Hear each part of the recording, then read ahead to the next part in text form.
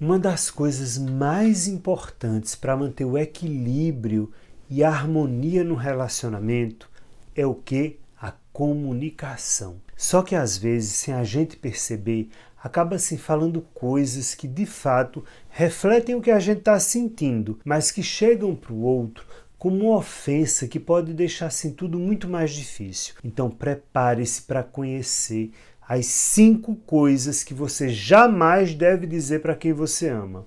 Eu sou Marcos Lacerda, psicólogo, e esse é mais um Nós da Questão. Vamos junto!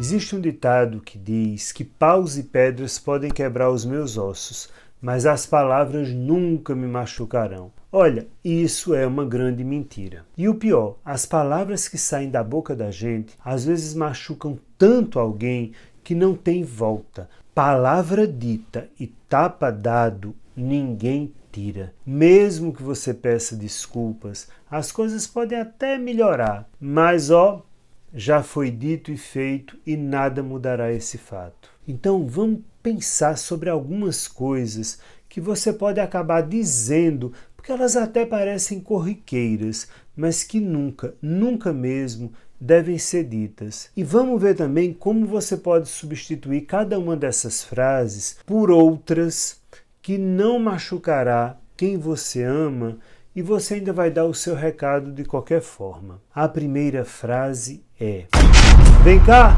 qual é o teu problema? quando a gente chega a perguntar para alguém que a gente ama qual é o seu problema, até o tom de voz que vem junto já diz muito do sentimento que você acaba de jogar na cara do outro. E óbvio que a tendência é do outro lhe atacar levando isso como um insulto e devolvendo na mesma moeda. Na verdade, quando a gente pergunta qual é o seu problema, significa que tem algo no comportamento do outro que está lhe incomodando. E aí a pessoa que você ama pode ficar frustrada, magoada ou até mesmo raivosa se você questiona o que é que há de errado com ela. Na verdade, você precisa saber como pode ajudar ao invés de perguntar qual é o problema. Por exemplo, tente perguntar de formas que tragam acolhimento, como por exemplo, podemos conversar sobre o que é que está acontecendo? Ou então, parece que tem algo que você está pensando que não está me deixando muito confortável. A gente poderia conversar sobre isso? Ou ainda, se você quiser ser mais direto, diga: Você está bem? Mas olha, sem ironia, ok? Que estão dizendo a mesma coisa do que é aquela frase horrorosa que eu disse no começo. Vem cá, qual é o problema? E em seguida, tenha empatia com o que quer que esteja de fato errado. O segredo aqui, mais do que a pergunta, é o tom e o jeitão da sua cara. Um tom suave e um olhar carinhoso serão assim muito bem-vindos nesse momento. Às vezes, o qual é o seu problema também pode ser uma forma de dizer: você não está entendendo o que eu estou dizendo? Ou ainda, com outras palavras, você está chamando a pessoa de burra, ignorante ou alguma coisa ofensiva do gênero. Se você não está se sentindo compreendido, existem outras formas de dizer isso. Se a raiva vier, respire fundo e ao invés de atacar, peça ajuda ao outro ou se afaste temporariamente até esfriar a cabeça. O diálogo vai ficar mais fácil se você se mostrar aberto para o acolhimento e não armado para um ataque.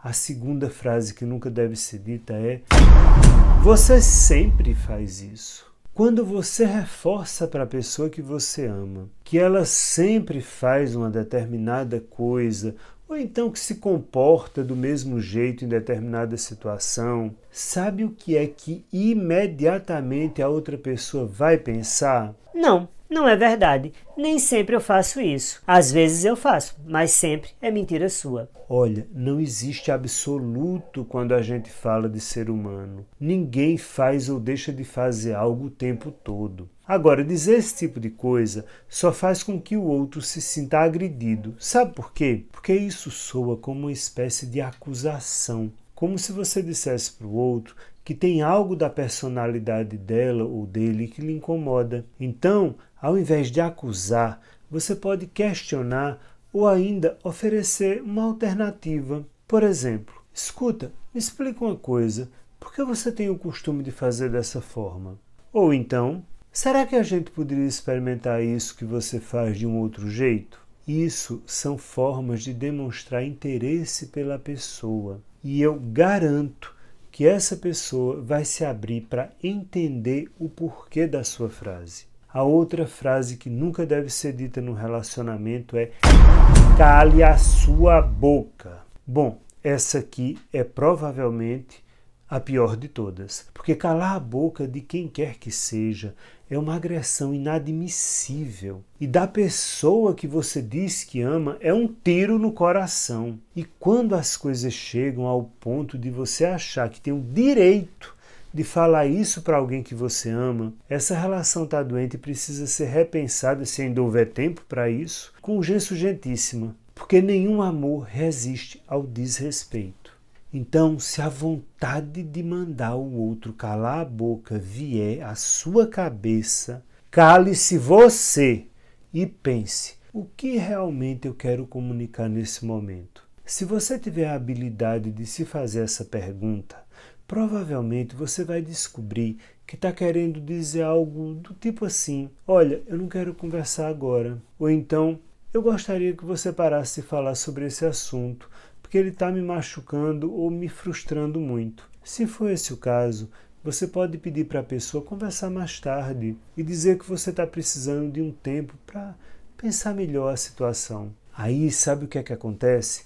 Você ganha espaço para entrar em um estado de espírito melhor. Aliás, os dois devem entrar no estado de espírito melhor quando dão um tempo durante uma discussão mais acalorada. A quarta frase que nunca deve ser dita numa relação é: Se você realmente me amasse, você faria tal coisa. Para, bebê!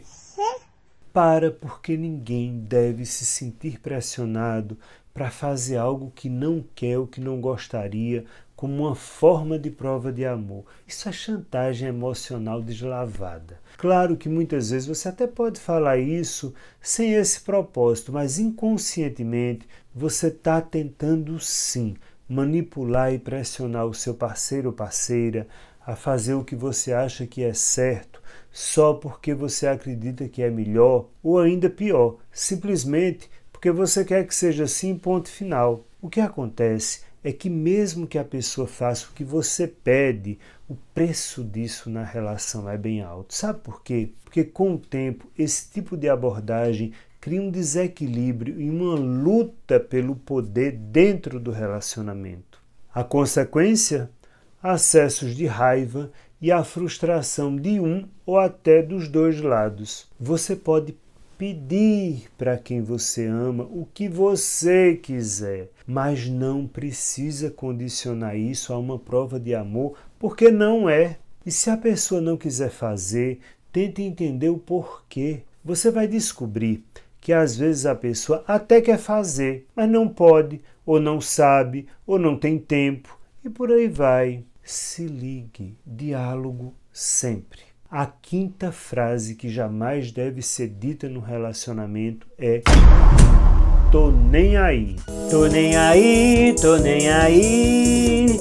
Pode ficar com seu mundinho, eu não tô nem aí. Tô nem aí, tô nem aí. Sabe o que isso passa para outra pessoa? Que você está desprezando ela e que você tem coisa melhor para fazer do que ouvir o que o outro tem para dizer. Mas pensa comigo, quando você diz que não está nem aí para a pessoa que você ama, na verdade, isso é uma grande mentira. Por trás desse tô nem aí, você está irritado ou irritada. Talvez só não seja o momento para ouvir o que a pessoa tem a dizer. Não se importar com o que o outro está dizendo vai acabar fazendo com que o outro daqui a pouco é que não esteja nem aí para você. Entenda que o outro, assim como você, tem a necessidade de dizer o que quer e o que precisa. E o melhor lugar para se sentir acolhido sobre essas questões é dentro do relacionamento. Então não desdenhe e nem despreze a pessoa que você está se relacionando. Ao invés de dizer tô nem aí, o ideal é entrar numa frequência de negociação. Diga para essa pessoa que você entende que ela quer falar sobre tal coisa agora e se mostre interessado em querer saber. Mas pergunte se pode ser em outro momento. Ah, e especifique o momento para não parecer que você está só querendo escapar da situação. Por exemplo, defina assim: vamos conversar sobre isso depois do jantar? Pode ser? Ou então, vamos conversar sobre isso no final de semana? Essas são formas de deixar claro para a pessoa que esse diálogo vai acontecer sim e que vai funcionar muito melhor quando os dois estiverem com mais disponibilidade.